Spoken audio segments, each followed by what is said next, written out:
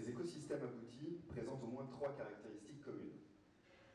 Un réseau local de business angels, ça je l'ai dit, des accélérateurs, et puis des fonds d'investissement généralistes permettant de couvrir les trois premières levées de fonds.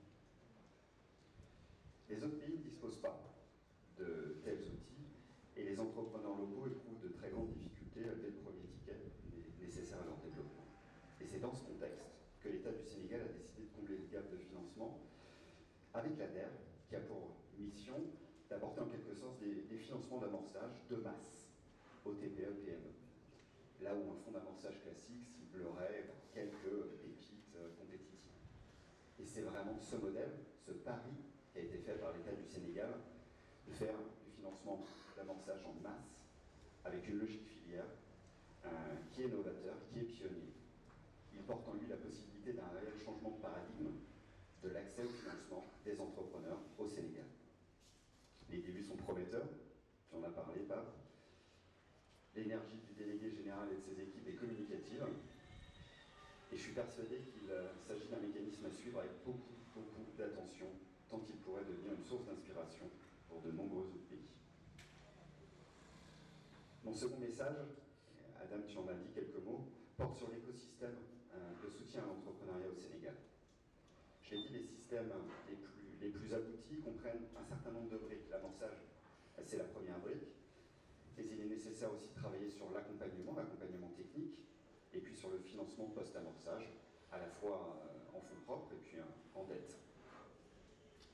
L'AFD soutient chacune de ces briques au Sénégal. S'agissant de l'amorçage, nous l'avons dit, nous soutenons à hauteur de 20 millions d'euros le programme PAPI de l'ADER. Nous avons lancé un fonds d'amorçage au niveau du continent, avec notamment euh, la BAN, AfriLabs et GreenTech. Et nous finançons aussi des fonds d'amorçage privés euh, au Sénégal, comme Teranga Capital. S'agissant de l'accompagnement, le programme PAPI prévoit une assistance technique et l'AFD soutient d'autres acteurs publics de l'accompagnement, comme la DEPME, le BMM, ainsi que des incubateurs. S'agissant enfin du financement post-amorçage, l'AFD filiale ProParco proposent des financements en fonds propres et en dette, de manière directe ou de manière indirecte via des Les initiatives, vous le voyez, sont foisonnantes.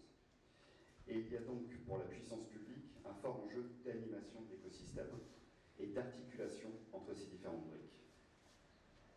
La réflexion menée par l'État du Sénégal sur euh, l'organisation et le renforcement de ces différents mécanismes de soutien public à l'entrepreneuriat est à ce titre très prometteuse, tant il est établi que les banques publiques d'investissement ont un rôle critique à jouer dans la relance post-Covid. C'était le grand message du sommet Finance en commun qui a été organisé à Paris euh, par le président de la République euh, le mois dernier et dont le président Macky Sall était euh, l'un des invités d'honneur. Pour conclure, c'est donc avec enthousiasme que nous souhaitons à l'ADER un immense succès dans la mise en œuvre du programme PAVI.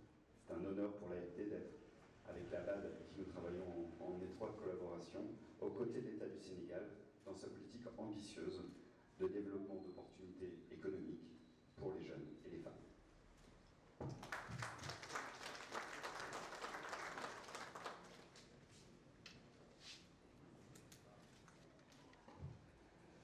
Je vous Pointier.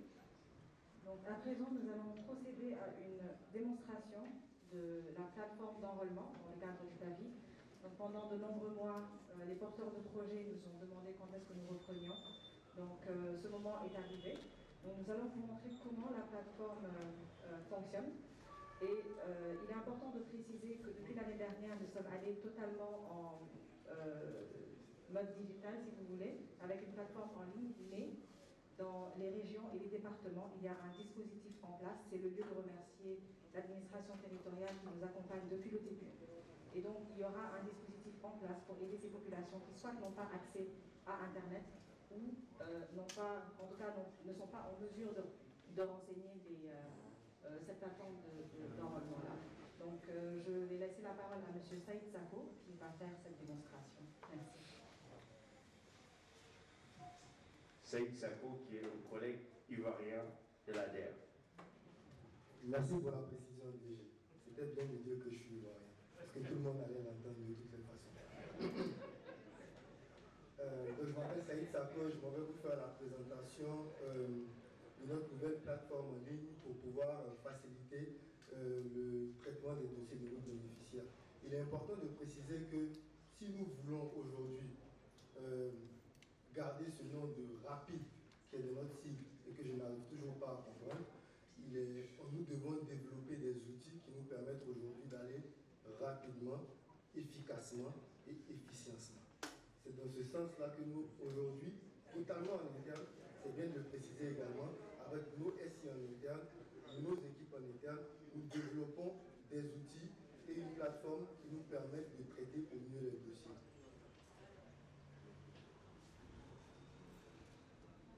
Et il rapide, euh, donc ça va venir.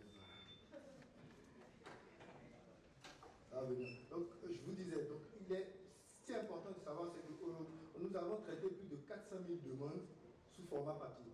400 000. Nous sommes 100, avec une équipe à peu près de 30 personnes qui s'occupent de l'exploitation.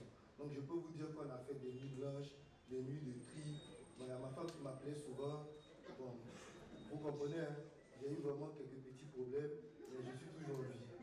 C'est important de le préciser. Nous les avons traités euh, nuit et jour de façon à pouvoir euh, honorer nos engagements. Je crois qu'aujourd'hui, nous voulons passer à une nouvelle étape. Nous avons beaucoup plus d'argent, le DG n'a cessé de le rappeler, et nos partenaires. Il est important pour nous de traiter plus de 400 000 demandes, mais de pouvoir les traiter de façon efficace encore une fois. Ce que nous faisons, c'est d'avoir des informations personnelles des bénéficiaires que nous traitons d'abord. Donc si DG, par exemple, Papa Amadoussa met son nom et sa date de naissance, on sait qu'il ne peut pas être financé par la DER parce qu'il a plus de 40 ans. Malheureusement. C'est bien ça. Par contre, si Tata Olimatassa met son nom, elle a certes plus de 40 ans, pardon Tata, j'ai dit ton âge, mais elle peut être financée parce que c'est une femme. Ce qui est important de savoir. Donc, au-delà de ces informations personnelles qui disent qu'il faut qu'il y ait un Sénégalais, donc un Ivoirien comme moi peut bien évidemment pas se faire financer par la DER, quoi qu'il peut travailler à la DER. Euh, donc, je n'arrive toujours mais allons seulement, comme on dit chez nous. Euh, faut également savoir que nous avons besoin de toutes les informations financières. Il faut qu'on sache comment les bénéficiaires travaillent et qu'est-ce qu'ils prévoient d'avoir en termes de chiffres. C'est ce qui permet à un gestionnaire de portefeuille comme moi, qui est également analyste financier, de pouvoir savoir est-ce que c'est un projet solvable ou pas.